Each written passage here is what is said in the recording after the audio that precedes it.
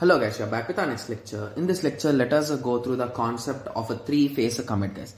Guys, I did not write the notes on this topic because I'm not having that much clarity on this guys. So I just took the screenshot of the textbook I think so or from some PPT. Okay.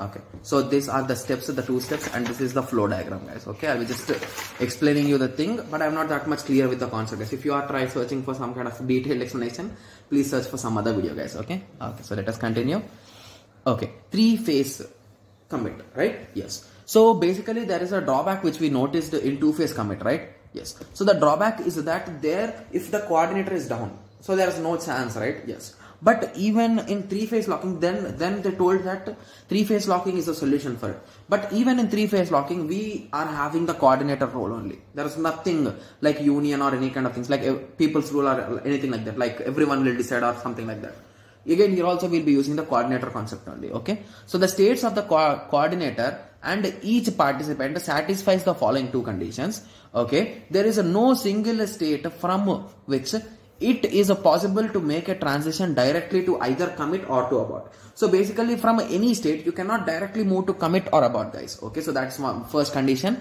And there is no state in which it is not possible to make final decision okay? And from which transaction to commit state. Okay? So basically i think it is explaining about these flow graphs only.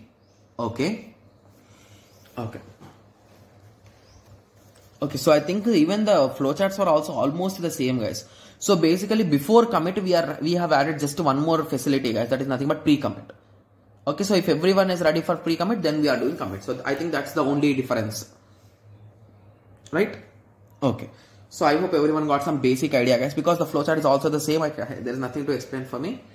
Okay. So basically they will be doing uh, once uh, everyone says that uh, they are ready to commit, they'll we will be doing some pre-commit. After that pre-commit is successful, then we will be doing the final commit. Right? Okay.